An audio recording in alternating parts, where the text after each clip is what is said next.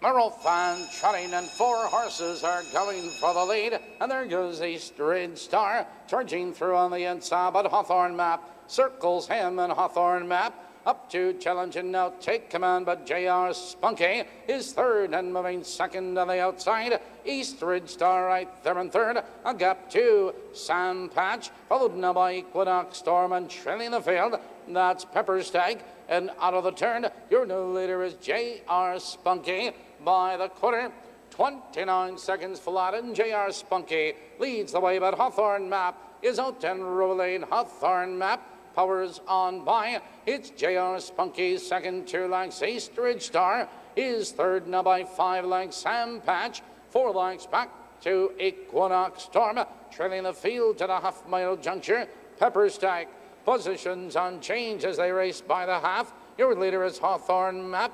J.R. Spunky is right on his heels and second. Halfway home, a minute and two. The race is half over. Into the far turn they trot. Hawthorne Map leads now by two lengths. On the inside, J.R. Spunky is right there second. Followed on the turn, East Ridge Star in third. And to the outside of us is that's Equinox Storm. Followed on the inside by Sam Patch. Trailing to the three quarters, Pepper Stack but as they approach the three-quarter marker, your leader is Hawthorne Map. Here they come trotting for home. Hawthorne Map cuts the corner two lengths. J.R. Spunky swings out for the drive. Here comes J.R. Spunky now with a rush to challenge and take command. Off stride is Hawthorne Map. It's J.R. Spunky with the lead. A late move between horses Sam Patch. On the outside of us is East Ridge Star back trotting. Hawthorne Map but it's J.R. Spunky all alone as they come to the wire.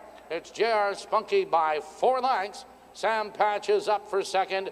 It's going to be close for third. We'll call it East Ridge Star.